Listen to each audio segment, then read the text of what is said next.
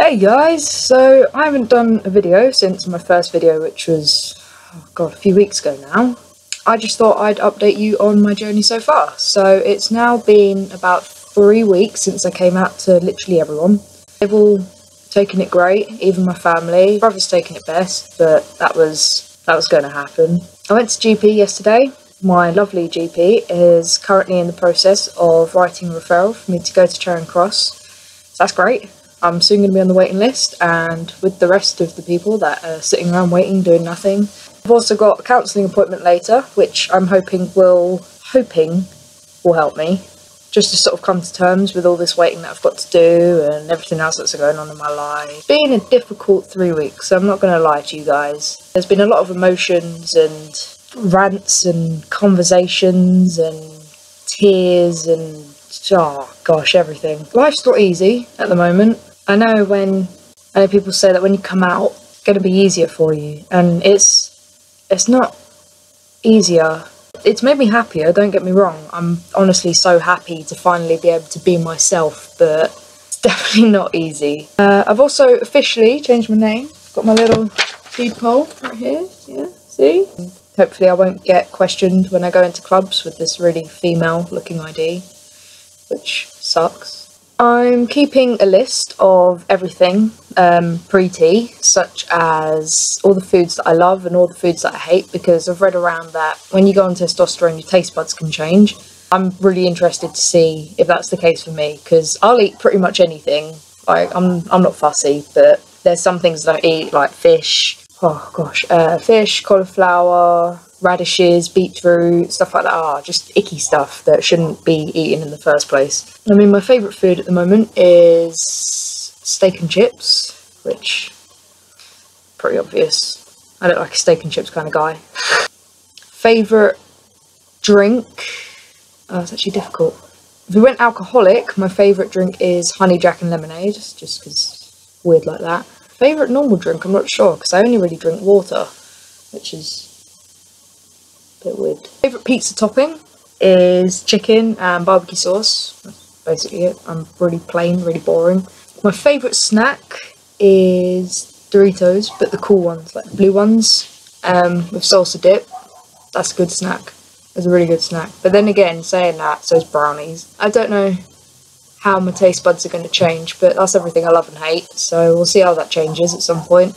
And I suppose I'll keep you updated on that. Finally did my measurements just everyone says, you know, pre-T, do all your measurements, see how your body will change once you go on testosterone. And my measurements didn't make me happy.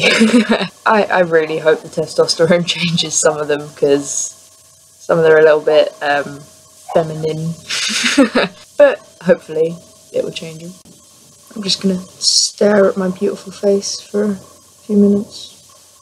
I've started a GoFundMe page and that's had mixed responses. I mean, there's obviously going to be the people that go go for it yourself and blah blah blah. And it's not like i'm not trying to pay for everything myself. Um, it's just i don't work i don't go to college or uni or anything like that at the moment. So i have no way of getting money right at this very minute. I mean i'm not it's not like i'm not looking for jobs i am. It's just not happening.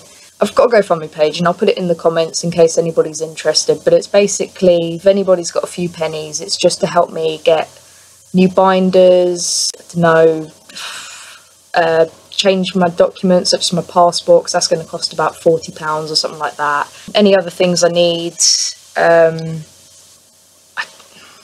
it's just for stuff that I can't afford to get but would make me happy. But some people think of it as me trying to make myself a charity and that's not it at all. I'm just asking for a few extra pennies to help me get by until I can actually sort of get by by myself because it's it's not nice having to hope that other people will sort of help you out because in this even though you have so much support you kind of want to show that you're doing it yourself and it's it's all you. Um, I got a new haircut as you might have seen. My mum doesn't know about it but if she watches this video she'll probably find out and I do apologise mum. I know I told you that I wouldn't get my hair cut short but yeah it was something I had to do. It's it's it's made me happy honestly. It's made me happy, and everybody said that they love it and it really suits me, and I definitely feel more more masculine. I think the word is. The next video I am planning on doing is hopefully going to be a more upbeat one. um, probably be about like all the really stupid questions that us as transgenders get asked. Well, not even just transgenders, anybody that's sort of like, oh, I don't know, gender fluid, gender queer, any anything else. So many labels these days, just the whole lot, really. I mean, we all get the same sort of questions and it's ridiculous, but I'll do some questions and answers for that one. If you've got any questions that you might want to ask and add to it just to help me have more of a video, then please do comment below or send me a private message or ask me on my blog on Tumblr because I'll put that in the description as I always do. I don't know when that'll be posted. I mean, I might do it straight after this video because I haven't done a few videos in a while, so might be something to do. Um, and another video I want to do is an interview with my brother, but I have a feeling the only way he's going to do it is if his girlfriend gets involved as well. So it might be with them too.